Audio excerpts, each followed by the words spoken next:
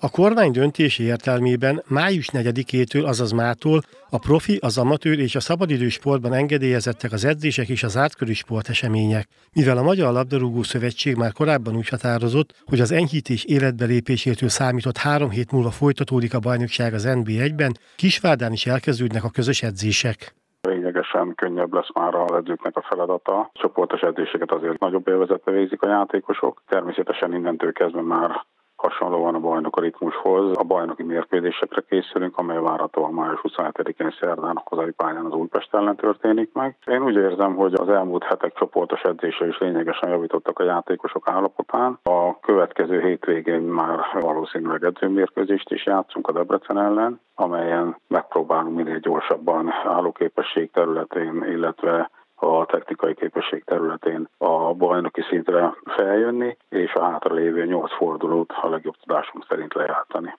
Mint a sportigazgató elmondta, eddig nem tapasztalt nehézségekkel kell majd szembenézniük a játékosoknak és a kluboknak.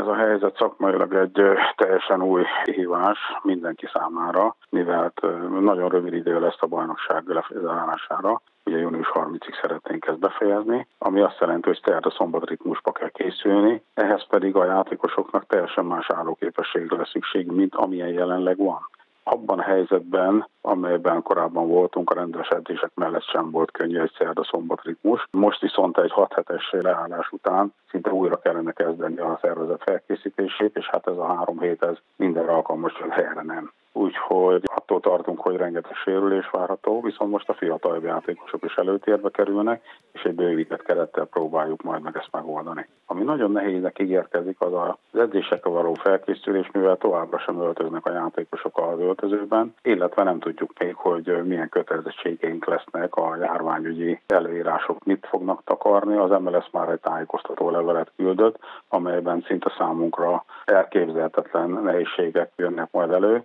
gondolva itt a heti többszöri mérésre, a tesztelésekre, illetve az összes olyan személy, aki a stadionba bejön, annak a mérkőzés előtti 24 órájában már vizsgálatnak kell alávetni magát, és be kell zárni, el kell zárni magát, ne érintkezzen mással.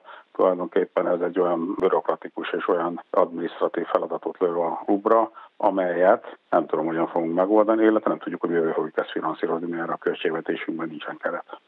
Nem csak a felnőtt csapat játékosai, hanem az akadémisták is elkezdik a közös edzéseket, bár számukra alig, hanem véget ért a bajnoki idény. Az akadémiánkra már a múlt héten elkezdtek visszaszállni a gyerekek, a mai nap is sokan érkeznek. Mai naptól már természetesen elindulnak az edzések, és az a jövő héten én úgy gondolom, ha bár most egyelőre még kisebb létszámokkal, a jövő héten már a teljes létszámú edzéseink, csapatedzéseink már megkezdődnek. A bajnokság véleményem szerint nem lesz elindítva, úgy gondolom, hogy ezt a szezont így fogjuk letudni, viszont a szülőknek is nagy segítség tud lenni, és hát a gyerekek már epedezve várják, hogy a pályán közösen a játékos társaikkal foglalkozhassanak és edzessenek.